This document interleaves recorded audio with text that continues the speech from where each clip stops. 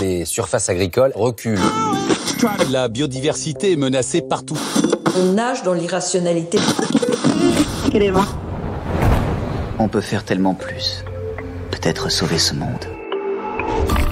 So Good Radio.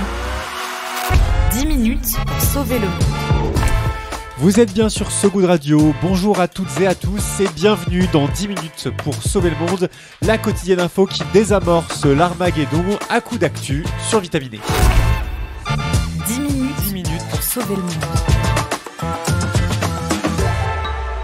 So Good Radio. So Good Pour les législatives du 30 juin et 7 juillet prochain, un sursaut démocratique est-il possible, Romain? Et 400 000 procurations enregistrées depuis le 10 juin en une semaine. Tu fais d'ailleurs peut-être toi-même partie de ces citoyennes et citoyens qui ont fait leur procu, comparé. C'est six fois plus, hein, 400 000, c'est six fois plus que pour les dernières législatives il y a deux ans. Le chiffre est encourageant, même s'il ne peut présager à lui seul d'une explosion de la participation. Après tout, la campagne est ultra courte et le deuxième tour tombe pendant les vacances scolaires. Reste qu'il y a deux ans, 46% des électeurs n'avaient pas voté au second tour des législatives. Or, vu la mobilisation sur les réseaux, dans les rues, l'émergence d'un front de gauche mobilisateur, on l'a vu dans l'esthétique de ces affiches en début de semaine par exemple, espérer une participation à 60-65% ce 30 juin et 7 juillet n'est pas totalement irénique. D'ailleurs, une enquête de l'IFOP pour le journal du dimanche estime la participation à 63%, assez pour ne plus faire de l'abstention le premier parti de France. Tout le monde le dit, hein, c'est vrai, cette élection est exceptionnelle à l'image de la dissolution en plein mandat, juste après les européennes du jamais vu. Ouais, du jamais vu, et le délai entre la dissolution et les élections législatives, trois semaines, c'est du jamais vu également sous la 5ème République. Un enjeu exceptionnel, mobilis- mobilisation exceptionnelle, on le voit dans le nombre de procurations, on l'a vu 400 000, mais aussi dans les appels au vote, les influenceurs Lena Situation, Squeezie, Mister V appellent à faire barrage à l'extrême droite. Il y a également 200 personnalités du monde du sport qui ont fait de même dans une tribune pour l'équipe.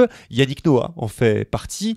Même Kylian Mbappé y a consenti, bien qu'il ait renvoyé les extrêmes dos à dos, une rhétorique critiquée, tant les programmes du Front Populaire et du Rassemblement National s'opposent.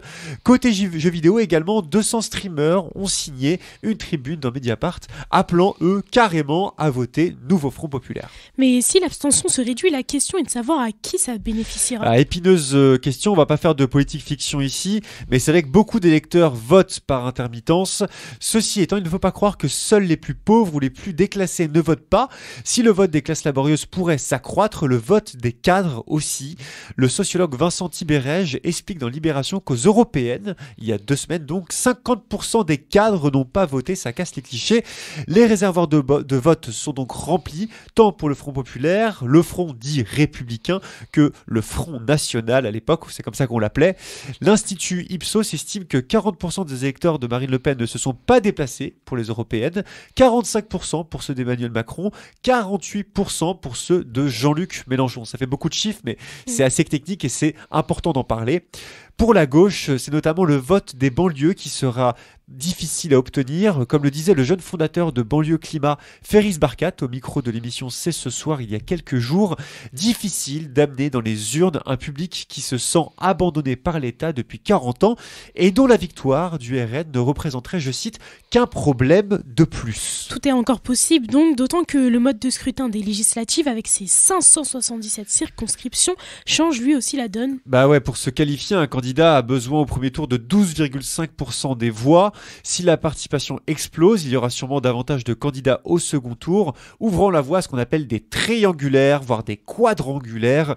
Il faudra bien observer ce qui se passera à la fin du premier tour, la façon dont les candidats les moins bien placés se désisteront ou pas pour un candidat avec lequel ils partageraient davantage de valeurs qu'avec celui du RN.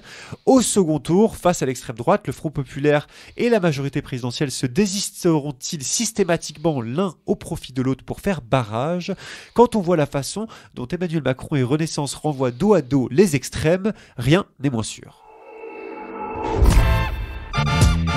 10 minutes pour sauver le monde. So Good Radio. So Good